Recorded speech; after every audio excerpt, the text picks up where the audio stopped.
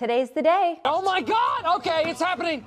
Everybody stay calm. What's the Everybody procedure, stay calm. everyone? What's the procedure? Stay calm. After more than a year, the international travel ban was lifted in the United States. That means air travelers from 33 different countries and travelers crossing the U.S. land borders with Canada and Mexico, come on down. But you're going to have to show you're fully vaccinated against COVID 19 or you're going back home. So, what are the rules? Important first, this does not apply to U.S. citizens, though all U.S. citizens re entering the United States must provide a negative COVID 19 test. If you are unvaccinated, that test must happen within one day of your travel. Now, for all those international travelers coming here by plane. Travelers must show proof of full vaccination against COVID 19. That means two weeks after your final dose of an approved or authorized vaccine from either the FDA or World Health Organization. Travelers must be foreign nationals from 26 Schengen nations in Europe, China, India, South Africa, Iran, Brazil, Britain, or Ireland.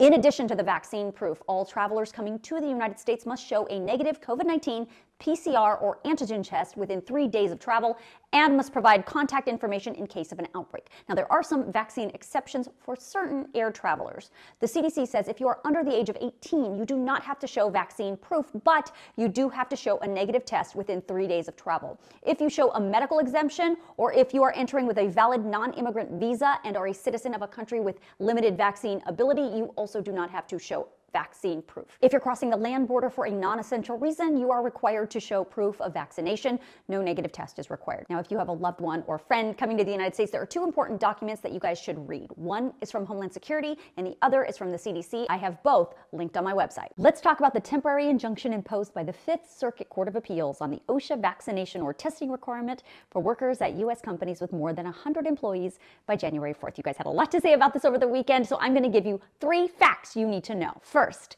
the Fifth Circuit Court of Appeals, where this case is currently being heard, is not the Supreme Court. It's not the same thing. And the fact is, this isn't the only appellate court with a pending case like this one. The Fifth Circuit is just one of, at this point, six appellate courts with similar challenges from more than 25 different states and lots of private companies and unions. Two, the Fifth Circuit Appellate Court three judge panel has issued a temporary injunction on implementation of this OSHA emergency temporary standard.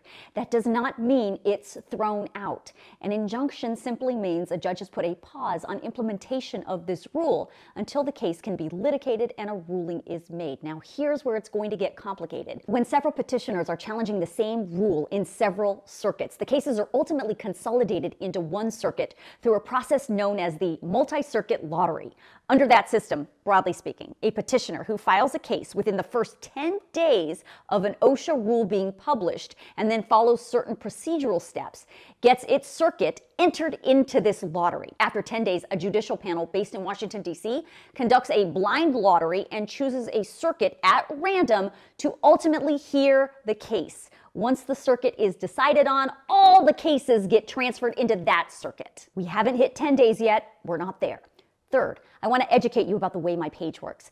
If there's an update to one of my reports, I will always put a pinned comment at the top of the comment section. In this case, I did that immediately as the news broke on Saturday.